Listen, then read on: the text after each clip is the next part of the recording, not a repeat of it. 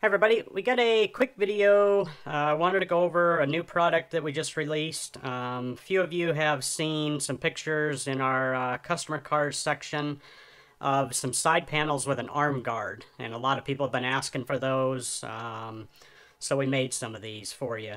So what these are, we got a pair of panels that you'll get. You can either do clear, we got a gloss black, a white, or a flat black. And you're going to get a pair of panels. Now, because these are vacuum formed and we offered the different colors and everything, we went ahead and made a right and a left. Um, as you can see on these, this is the one with the arm guard, and you can see, I'll try to get this in the light a little bit, but there's outlines on these parts um, to trim these out. So these are going to come untrimmed unlike our other panels.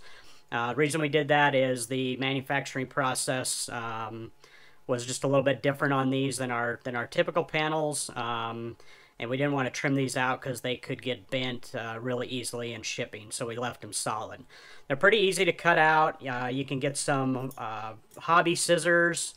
Um, they either make a straight version like this, or they make a curved version like that. Uh, both of these will work good for this. Um, so you can just trim around there. And when you trim these, just take your time, you know, just trim around there. You can also use an X-Acto knife. Just be really careful if you use an X-Acto knife because it's easy to slip uh, and you don't want to cut yourself, anything like that.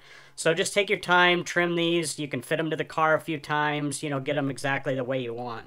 They also You'll also have to drill the holes in there. Uh, you can see there's little dimples for the holes.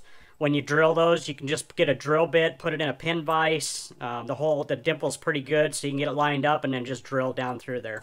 You can also use a body reamer. You can get these online as well. These work really good. The only thing, if you use a body reamer, just be really careful because they do go through this material pretty quick. Uh, and you don't want to make the hole too big. So the screws that hold the um, panels on the car are M1.6. So you can get an M1.6 or something very close to that for the to drill the holes. Uh, like I said, this is the flat black version. Uh, this will kind of match the flat black uh, hoods and tails that we offer. Uh, we have a white version. We went ahead and did a white because some people have been asking about a white version. Uh, you can't really see the lines on this one as good there, but um, you can also see the lines on the back a little bit easier too when you go to trim these.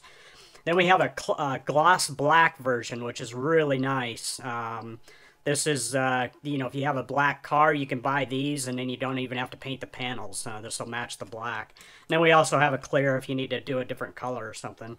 So, like I said, these are not trimmed, um, so you are going to have to trim those. We want to make everybody aware of that. Um, you know, like I said, just take your time. Uh, you know, just trim a little bit at a time, and uh, you know, just fit it to the car, get it the way you want, uh, and they'll turn out really good. Uh, make sure you keep watching our website uh, and social media pages for more new products to come. And thanks for watching.